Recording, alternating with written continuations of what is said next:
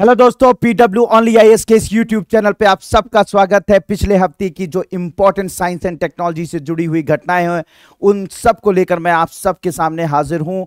तो हम लोग स्टार्ट करते हैं पहली घटना से जो काफ़ी चर्चा में रही है, वो चर्चा में रही है कि मंगल ग्रह पर पानी मिल गया। मतलब मंगल ग्रह पर तरल जल की खोज कर ली गई है। अब आप सोचेंगे कि सर ये तरल जो है, यानी कि जो तरल पानी वहाँ पर मौजूद है, ये तो पहले से भी हमें पता था कि वहाँ के उत्तरी ध्रुव, दक्षिणी ध्रुवों पर पानी मौजूद है बर्फ़ के रूप में। क्या इसमें डिफरेंस क्या रहा? जो ये खोज की गई, इसमें डिफरेंस क्या रहा? इसमें डिफरेंस ये रहा कि पहले हमें ये बात पता थी कि वहाँ के ध्रुवों पर पानी मौजूद है, वो भी बर्फ़ के रूप में मौजूद है, लेकिन इस बार जो पानी मिला है, वो पानी जो है, वो तरल रूप में मिला है और जो आपकी मंगल की ऊपरी लेयर है, यानी जो इसकी सतह है, उस सतह के नीचे चट्टानों के अंदर सुरक्षित है और महासागर के रूप में है। यानी महा, एक पूरा का पूरा, अगर मैं सिंपल वे में बात करूँ तो पूरा का पूरा महासागर जो है, वो मंगल ग्रह की सतह के नीचे मौजूद है।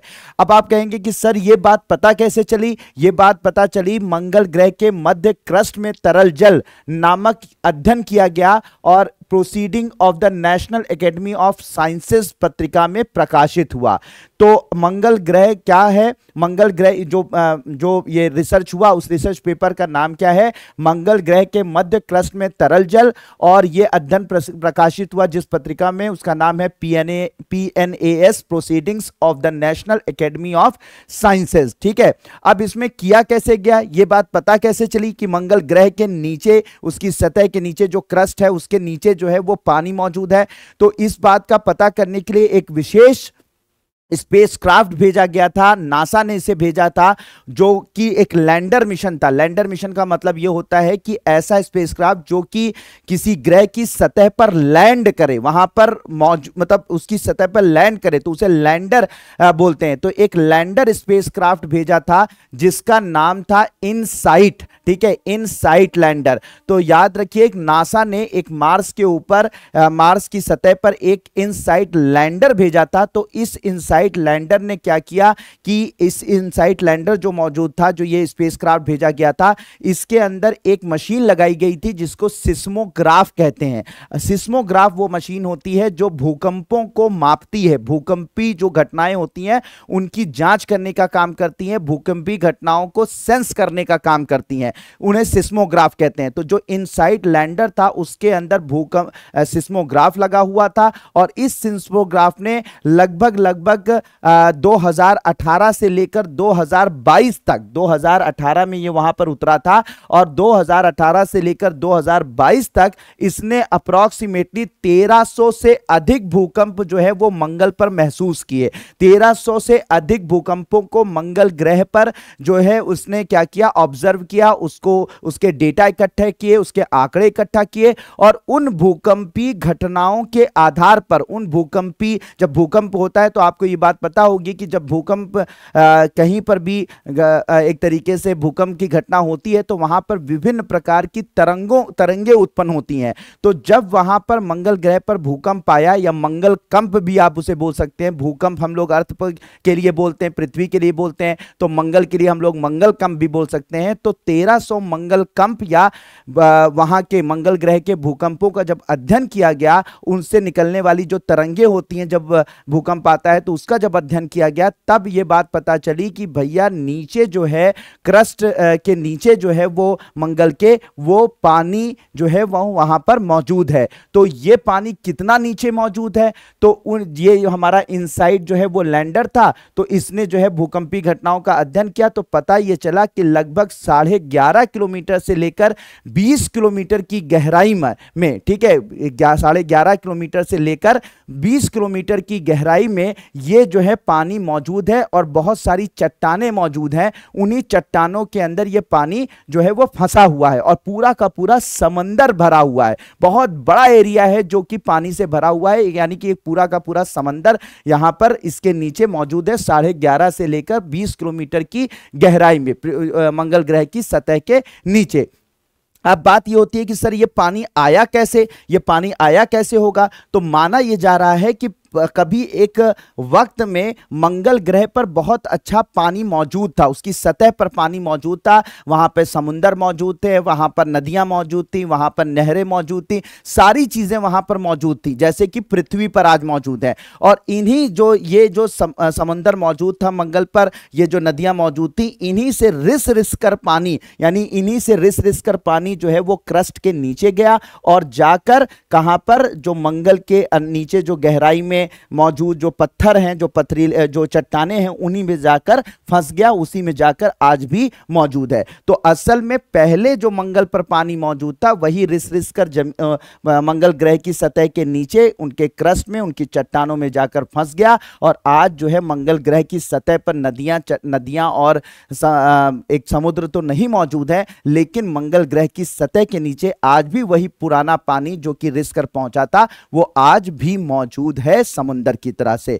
तो ये जानकारी हमें मिली है। तो ये एक बड़ी खोज है और ये मानवता के लिए बहुत बड़ी खोज है, क्योंकि अब अगर मंगल की ग्रह सतह के नीचे इस बात का पता हो गया है कि वहाँ पर पानी मौजूद है, वहाँ पानी भरपूर मात्रा में मौजूद है तो कम से कम अगर मंगल ग्रह पे बसने की जो हम योजना बना रहे हैं, मानव योजना बना रहा है तो कम से कम पानी की समस्या खास करके तरल रूप में पानी की समस्या जो हमें फ्यूचर में होती वहाँ पे बसने के बाद वो खत्म हो जाएगी और जीवन और दूसरा क्या है फ़ायदा। दूसरा फ़ायदा यह है कि अब अगर वहाँ पानी मौजूद है तो हो सकता है, हो सकता है उस पानी के अंदर जीवन भी मौजूद हो। मतलब क्योंकि पृथ्वी पर भी आपको पता होगा कि पृथ्वी पर भी जो जीवन मौजूद रहा मौजूद हुआ या जीवन की उत्पत्ति जो हुई, वो कहाँ पर हुई थी? पानी में, समुंदर में हुई थी। तो अगर वहाँ समुंदर मौजूद है तो डेफिनेटली वहाँ पर मोस्ट प्रॉब्ली बहुत ऐसी ऐसी संभावना है कि वहाँ पर किसी ना किसी रूप में जो है वो जीवन मौजूद होगा।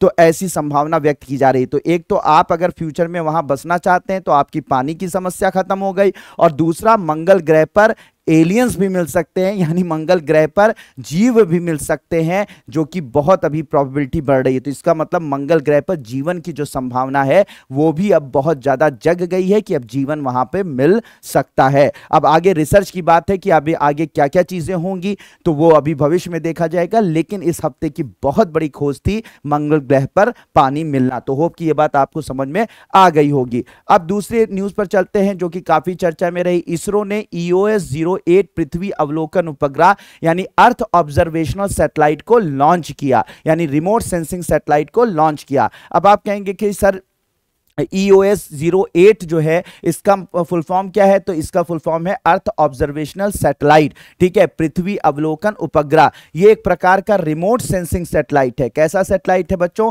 ये एक तरह तरह का रिमोट सेंसिंग सैटेलाइट है, ठीक है? ये रिमोट सेंसिंग सैटेलाइट है। अब आप कहेंगे, ये सैटेलाइट क्या होते हैं? रिमोट सेंसिंग सैटेलाइट क्या होते हैं? सुदूर संवेदन उपग्रह क्या होते हैं? ऐसे उपग्रह जो पृथ्वी के चारों तरफ़ चक्कर लगाते हैं, पृथ्वी के चारों तरफ़ लो अर्थ ऑर्बिट में निम्न भू कक्षा में, यानी पृथ्वी से लगभग 200 से लेकर 2000 किलोमीटर की कक्षा में, पृथ्वी की सतह से लगभग 200 से लेकर 2000 किलोमीटर की कक्षा में चक्कर लगाते हुए पृथ्वी की सतह के बारे में, पृथ्वी के समुद्र के बारे में, पृथ्वी के पर्यावरण के बारे में, पृथ्वी के पर्यावरणीय बदलावों के बारे में, ठीक है? जो पृथ्वी के पृथ्वी के खनिज पदार्थों के बारे में, समुद्रों, समुद्र के अंदर जो संसाधन है उनके बारे में, इन सब के बारे में जानकारी इकट्ठा करते करते हैं डेटा इकट्ठा करते हैं, आंकड़े इकट्ठा करते हैं, ऐसे सैटेलाइटों को रिमोट सेंसिंग सैटेलाइट या सुदूर संवेदन उपग्रह के नाम से जानते हैं। सुदूर संवेदन उपग्रह के नाम से जानते हैं। तो ये जो ईओएस ज़ीरो एट नाम का सैटेलाइट है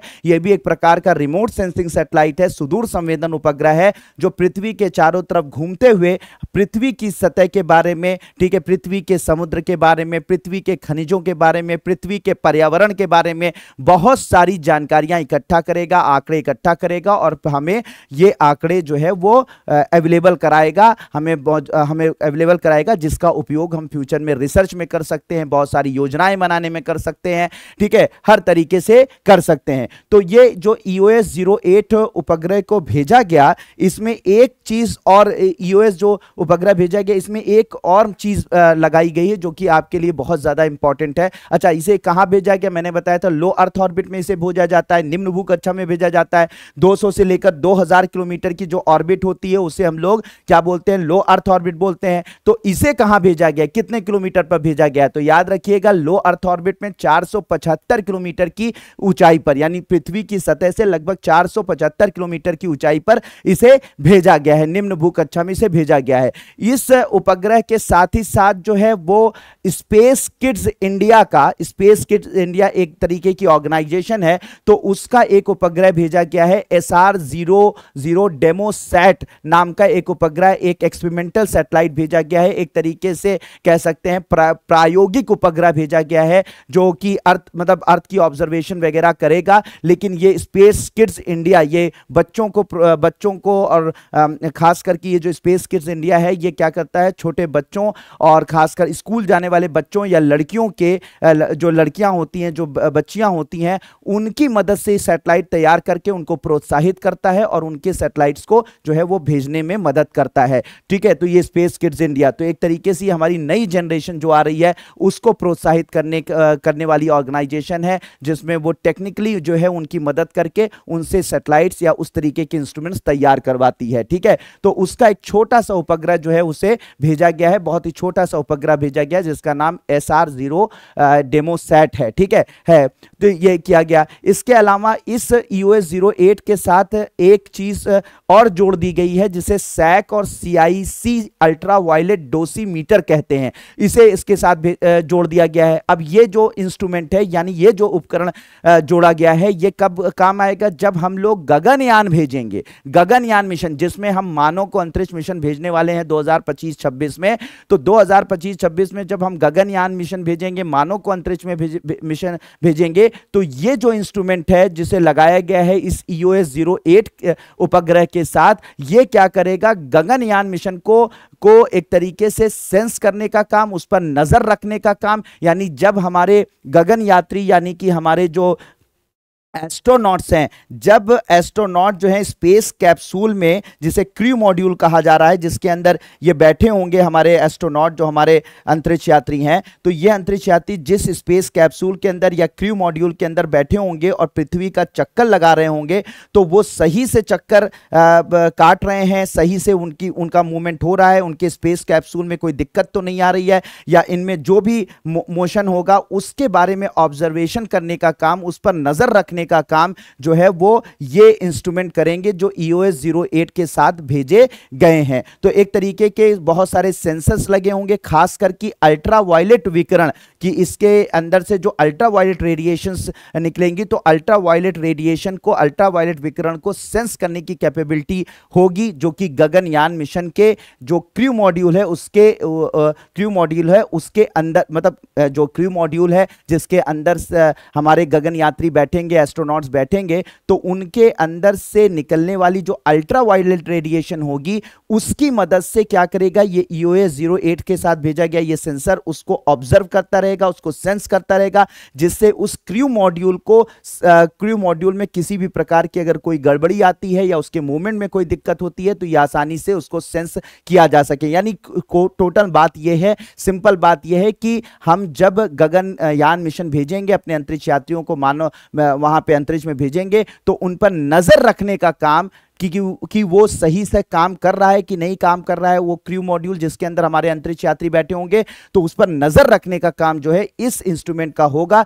जिसे पहले ही भेज दिया गया है ईओएस ज़ीरो एट के साथ में। ठीक है? अब ये जो भेजा गया है बच्चों इसे भेजा गया है हमारे SSLV से। Small satellite launch vehicle D से भेजा गया है। डी का मतलब यह है कि डेमोस्ट्रेशन थर्ड यानी कि SSLV का ये ये तीसरा परीक्षण था तीसरा डेमो था कि मतलब एसएसएलवी क्या है? पहले ये बात समझ लीजिए। ये एसएसएलवी एक रॉकेट है भारत का, जिसे small satellite launch launch vehicle कहते हैं। ये जो रॉकेट है, ये जो उपग्रह प्रक्षेपण यान है, ये जो रॉकेट है या लॉन्च व्हीकल है, ये लॉन्च व्हीकल स्पेशली बनाया गया है। मोस्टली ये ठोस ईंधन से चलता है। किससे चलता है? ठोस ईंधन से चलता है। और ये क्या है? 300 से लेकर, ठीक है 300 से लेकर 500 किलोग्राम के सैटेलाइट को 300 से लेकर 500 किलोग्राम के सैटेलाइट को, ये लगभग लगभग 500 किलोमीटर की लो अर्थ ऑर्बिट में भेजने की क्षमता रखता है। ठीक है एसएसएलवी तो स्मॉल सैटेलाइट लॉन्च व्हीकल भारत का एक अंतरिक्ष यान है, भारत का एक लॉन्च व्हीकल है, भारत का एक रॉकेट है, जो ठोस ईंधनों से चलता है। 300 से लेकर 500 किलोग्राम के सैटेलाइट को 500 किलोमीटर की लो अर्थ ऑर्बिट में छोड़ने की क्षमता रखता है। ठीक है, रखता है। और सबसे खास बात इस एसएसएलवी की ये होती है कि इस एसएसएलवी को जैसे कि हम लोग पीएसएलवी यानी कि और भी अगर अंतरिक्ष यानों से अगर हम किसी सैटेलाइट को लॉन्च करें पीएसएलवी से जीएसएलवी से तो उनको तैयार मतलब उनको आ, मतलब अंतरिक्ष ये सैटेलाइट्स को लॉन्च करने में कम से कम तीन से चार महीने का वक्त चाहिए। मतलब अगर आप पीएसएलवी यान से अगर अपने सैटेलाइटों को भेजना चाहें या जीएसएलवी यान से सैटेलाइटों को भेजना चाहें तो कम से कम तीन से चार महीने की तैयारी चाहिए होती है। तीन से चार महीने का वक्त चाहिए होता है कि आप सैटेलाइट को सैटेलाइट को भेजने में, यानी पूरा यान बनाने में, ठीक है, लॉन्च व्हीकल बनाने में, वो सैटेलाइट को रखने में, फिर उसके बाद उनको लॉन्च करने में कम से कम तीन से चार महीने का वक्त लगता है। तो किसी भी यान से अगर किसी सैटेलाइट को लॉन्च आप करेंगे, चाहे पीएसएलवी से जीएसएलवी से, जो भारत के इसरो के पास है तो तीन से चार महीने का वक्त लगता है। लेकिन एसएसएलवी से अगर आप लॉन्च करेंगे तो सिर्फ़ और सिर्फ़ बहत्तर घंटे पहले आपको आप बता दीजिए कि इसरो को बहत्तर घंटे से पहले बता दीजिए कि भैया मुझे बस बहत्तर घंटे के अंदर एक सैटेलाइट लॉन्च करना है। तो एसएसएलवी की मदद से सिर्फ़ बहत्तर घंटे के अंदर लॉन्चिंग की जा सकती है सैटेलाइट्स की। तो आजकल जैसे जमाना है ना कि आप अच्छा प्रोडक्ट दीजिए, जल्दी प्रोडक्ट दीजिए, और अब जल्दी का मामला नहीं रह गया। आप तुरंत तुरंत क्विक हमें डिलीवरी दीजिए। तो वही वाले बात आजकल हो, उसी तरीके से हमारे आजकल स्पेस लॉन्चेस में भी हो गई है कि अगर इमरजेंसी में कोई सैटेलाइट भेजना हुआ या जल्दबाजी में कोई सैटेलाइट भेजना हुआ तो हमारे पीएसएलवी जीएसएलवी जो है वो काफ़ी वक्त लगाएँगे एसएसएलवी लेकिन सिर्फ़ बहत्तर घंटे के अंदर आपके सैटेलाइट को लॉन्च कर देगा। तो ये क्विक, बढ़िया एक तो अच्छा लॉन्च कर रहा है, ठीक है, सस्ते में लॉन्च कर रहा है और साथ ही साथ बहुत कम समय में लॉन्च कर दे रहा है। तो इस स्पेशलिटी के साथ इसको बनाया गया एसएसएलवी को और इस एसएसएलवी की ये तीसरी उड़ान थी और तीसरी डेमो उड़ान थी। मतलब कि पहली उड़ान इससे एसएसएलवी से लॉन्च किया गया तो वो फेल हो गया। दूसरी उड़ान इससे की गई सैटेलाइट को लॉन्च किया गया वो सफल हो गया और तीसरी उड़ान ये जो की गई ये भी सफल हो गई। तो फाइनली जो है अब ये माना जा रहा है कि ये पूरी तरीके से सफल हो गया। यानी कि एसएसएलवी की ये जो प्रा, प्रायोगिक उड़ान थी जो एक डेमो उड़ान उड़ाने थी वो पूरी पूरी तरह से सफल हो चुकी हैं। और अब जो है वो एसएसएलवी को कमर्शियली यूज़ किया जा सकता है।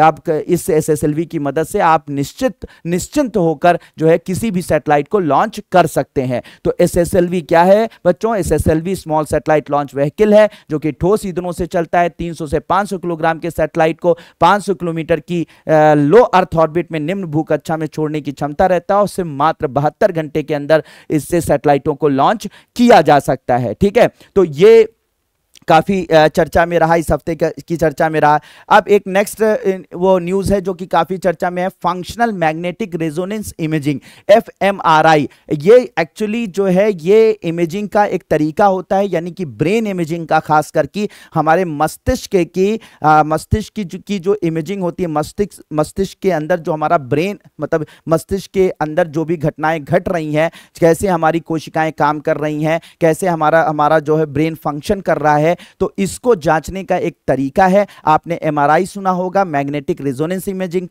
सुनी होगी, ठीक है? आपने कैट वो सुना होगा पेट सुना होगा पॉजिटॉन इमिशन टोमोग्राफी सुनी होगी, ठीक है? इसी तरीके से आपने सीटी स्कैन सुना होगा जिसे कंप्यूटर टोमोग्राफी स्कैन बोलते हैं। तो जैसे सीटी स्कैन होता है एमआरआई स्कैन होता है, वैसे ही एक एमआरआई और आ गया है। मतलब ये पहले से भी मौजूद है, लेकिन मतलब ये काफ़ी चर्चा में रह रहा है, जिसे एफ़ जिसे functional magnetic magnetic resonance imaging कहते हैं। तो अब आप कहेंगे, सर, जब सीटी स्कैन है एमआरआई है तो एफ़ एमआरआई कैसे डिफरेंट है? कैसे अलग है हमारे सीटी स्कैन से या नॉर्मल एमआरआई से? तो याद रखिएगा बच्चों, ये बहुत इंपॉर्टेंट क्वेश्चन है कि आखिर ये कैसे अलग है। तो जैसे आप सीटी स्कैन करते हैं एमआरआई करते हैं तो ऐसी कंडीशन में क्या होता है कि एक स्टैटिक इमेज आती है। मतलब कि जो उस वक्त कोई भी घटना अगर घट रही है, ठीक है, घटना घट रही है आपके ब्रेन के अंदर, आपके मस्तिष्क के अंदर तो सिर्फ़ करेंगे वो उसी वक्त की फ़ोटो लेकर आपको दे देगा। ठीक है, आपको दे देगा तो आपको ये बात समझ में आ जाएगी कि भैया यहाँ पे दिक्कत है, यहाँ पे दिक्कत है, ये समझ में आ जाएगी।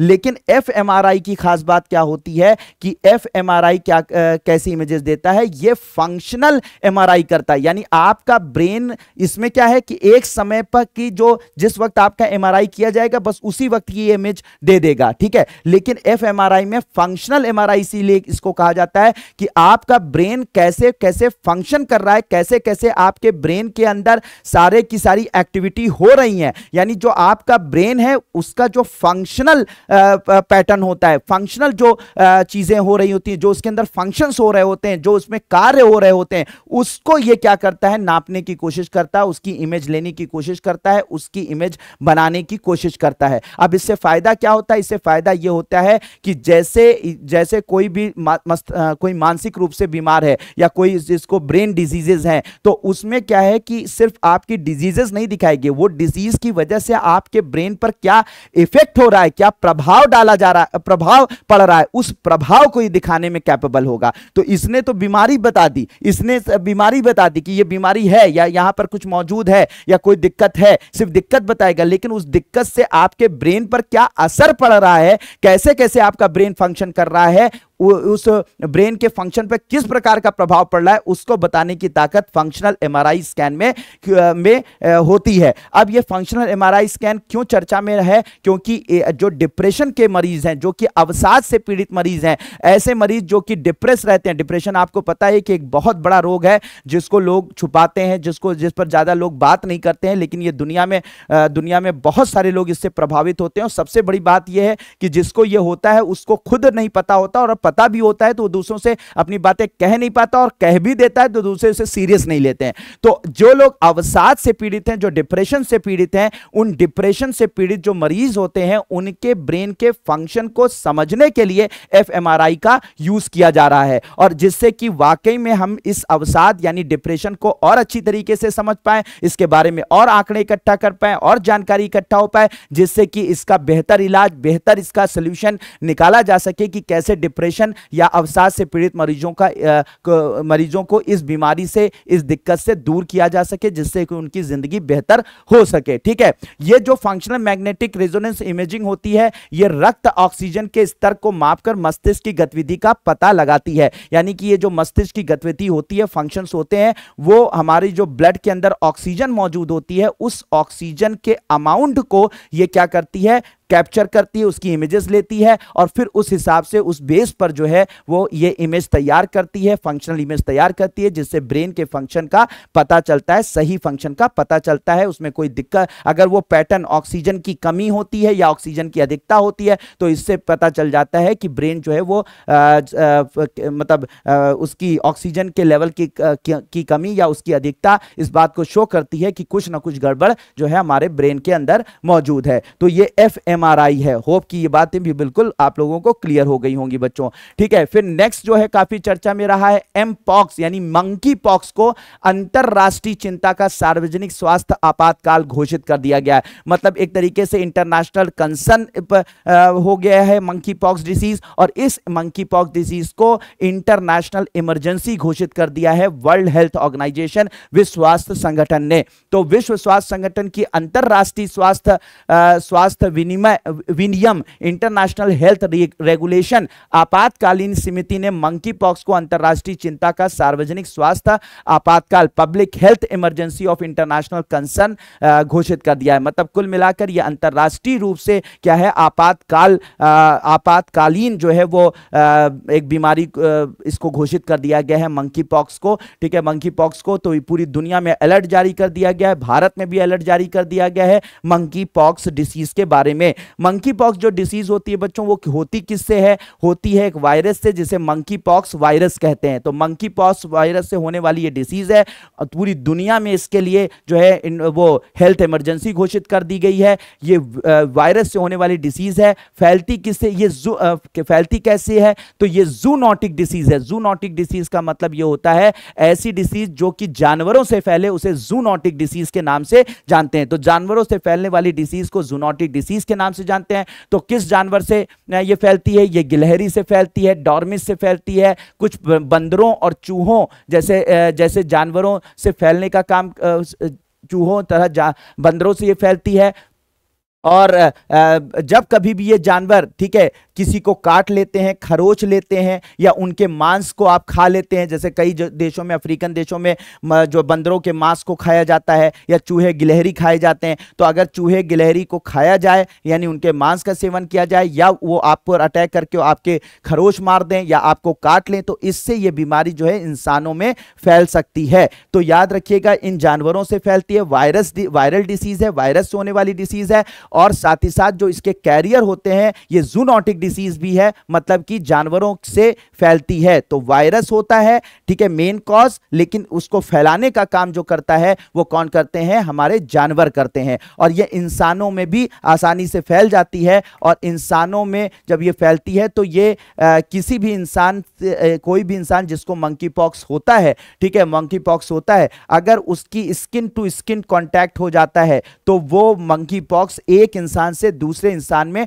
ट्रांसफ़र हो सकती है। अगर किसी को मंकी पॉक्स डिसीज है तो कोई अगर नॉर्मल नॉर्मल अगर इंसान उसके पास जाता है, अगर स्किन से स्किन टच हो जाती है तो इससे ये फैल सकती है। इसके अलावा अगर किसी को मंकी पॉक्स है तो अगर उसके साथ वो सेक्सुअल संबंध स्थापित करता है तो उससे भी मंकी पॉक्स डिसीज जो है मंकी पॉक्स डिसीज से प्रभावित व्यक्ति से नॉर्मल व्यक्ति में फैल सकती है। इसके अलावा अगर असल में मंकी पॉक्स में होता है क्या छोटे छोटे छोटे छोटे खूब सारे बॉडी में दाने निकल आते हैं रैशेज निकल आते हैं, ठीक है? और वो दाने पकने लगते हैं, जैसे कि वो होता है ना चिकन पॉक्स होती है तो उसी तरीके से ये पूरी बॉडी में दाने निकल आते हैं तो उसमें से जो मवाद निकलती है, जो उसमें पपड़ी निकलती है, अगर उसके संपर्क में कोई नॉर्मल व्यक्ति आ जाएगा, सामान्य व्यक्ति आ जाएगा तो उसमें भी ये फैल सकती है। इसके अलावा ये माना जाता है कि एक प्रेग्नेंट वुमेन जो होती है, जो अगर गर्भवती महिला अगर उसको मंकी पॉक्स हो गया तो अपने बच्चे में भी इसे ट्रांसफ़र कर सकती है, अपने जो उसके गर्भ में पल रहा बच्चा होता है, जो जो उसके गर्भ में, उसके गर्भाशय में बच्चा पल रहा होता तो उसको भी ये ट्रांसफ़र हो सकती है। ठीक है, इसके अलावा अगर किसी के क्लॉथ को, इसके, किसी के कपड़े को किसी के बेडशीट को अगर आप यूज़ करते हैं, जो कि मंकी पॉक्स से प्रभावित व्यक्ति है तो उससे भी ये फैल सकती है। अगर फैल जाती है तो फैल जाती है तो फिर इसमें होता क्या है? स्किन रैशेज होते हैं, मैंने आपको बताया। पूरे स्किन पे पपड़ियाँ पड़ जाती हैं, खूब तेज से बुखार आता है। जाड़ा देकर बुखार आता है, चिल फीवर आता है, इसके अलावा सर में दर्द होता है, इसके अलावा जो है थकावट महसूस होती है, इसके अलावा सोर थ्रोट हो जाता है, गले में खराश हो जाती है, इसके अलावा जो है वो जो नाक जो है वो बंद होने लगती है, ठीक है, बंद मतलब ना, जैसे जकड़न सी हो जाती है, नाक में जो है जकड़न सी हो जाती है स्टफी नोज़ हो जाती है लिम्फ नोट जो होते हैं, जो गिल्टियाँ होती हैं, वो उभर आती हैं उसमें स्वेलिंग आ जाती है, कफ होता है, इसके अलावा जो है वो पीठ में दर्द होता है, इसके अलावा पूरी बॉडी की मसल्स में में दर्द होता है और ये बहुत पेनफुल डिसीज है, बहुत दर्दनाक डिसीज है, बहुत दर्द होता है बॉडी में। और खास करके वो जो मैं बता रहा हूँ, पूरी बॉडी में जो चकत्ते पड़ जाते हैं, पूरी बॉडी में जो दाने निकल आते हैं, वो बहुत पेनफुल होता है, वो वो एक तरीके से सड़न जैसा महसूस होता है। इसमें मौत बहुत मुश्किल से रेयर से होती है होती है इसमें मौत। डेडली डिसीज मानी जाती है, लेकिन एक्सट्रीम डेडली डिसीज नहीं कि अगर हो जाएगी तो मौत ही हो जाएगी। ऐसा भी नहीं है, ठीक है? तो ठीक है मतलब अगर हो जाती है तो इसको मतलब इसको एक तरीके से अगर आप प्रिकॉशन लेते हैं अपने आप ऊपर थोड़ा सा अपने बुखार उखार जो चढ़ रहा है उसको मैनेज कर लेते हैं और सही तरीके से डॉक्टरों की सलाह आप लेते हैं तो इसमें सर्वाइव हो जाता है पेशेंट मौत आ, होती है लेकिन आ, ये नहीं है कि जिसको हो जाएगी उसको सिर्फ़ मौत ही मतलब उसकी मृत्यु ही हो जाएगी। अगर इसका वैसे कोई पर्टिकुलर ट्रीटमेंट तो नहीं है लेकिन जो भी आपको बुखार उखार हो गया बस सिम्टोमेटिक ट्रीटमेंट इसका चलता है। बाकी कुछ दवाएँ जो हैं वो हैं एंटीवायरल दवाएँ हैं जो इसमें कारगर देखी जा रही हैं जैसे सीडोफोविर नाम की दवा है ब्रिन ब्रिंसीडोफोविर नाम की दवा है, या टेको विरीमैट नाम की दवा है। तो इस तरीके की कुछ एंटीवायरल दवाएँ हैं, यानी वायरस को मारने वाली दवाएँ देखी जाती हैं कि मंकी पॉक्स जो डिज़ीज़ होती है, उसमें असरदार होती हैं। लेकिन मंकी पॉक्स के लिए कोई स्पेशल दवा है, ऐसा अभी पॉसिबल नहीं है। ऐसी कोई खास वैक्सीन भी नहीं है। तो ओवरऑल मंकी पॉक्स एक डेडली डिसीज है, जो कि जानवरों से वायरल डिसीज है, जानवरों से फैलती है, इंसान से इंसानों के बीच में फैलती है, काफ़ी दर्दनाक डिसीज होती है, इसकी कोई दवा नहीं मौजूद है, लेकिन इसमें ऐसा भी नहीं है कि इंसान तुरंत मर ही जाता है, ठीक है, मरी जाता है, कुछ केसेस में डेथ भी होती है, लेकिन फ्रिक्वेंट डेथ नहीं होती है। कुछ वायरल दवाएँ काम, कारगर हैं इस केस में, लेकिन कोई स्पेसिफिक इस डिसीज के लिए वायरल दवा नहीं है एंटीवायरल दवा नहीं है। तो ये कुछ डिसीज कुछ ऐसे इस हफ़्ते की काफ़ी चर्चा में रहने वाली न्यूज़ थी, जिसको हम लोगों ने यहाँ पर डिस्कस किया, यानी मैंने आप लोगों के सामने डिस्कस किया। होप कि सारी बातें आपको बच्चों बहुत अच्छे से समझ में आई होंगी। तो मिलते हैं नेक्स्ट वीक में, और आगे इन चीज़ों के बारे में करंट अफेयर्स के जो साइंस एंड टेक्नोलॉजी के करंट अफेयर हैं, उनको समझने की कोशिश करके, करते हैं। तब तक के लिए thank you so much and may God bless you all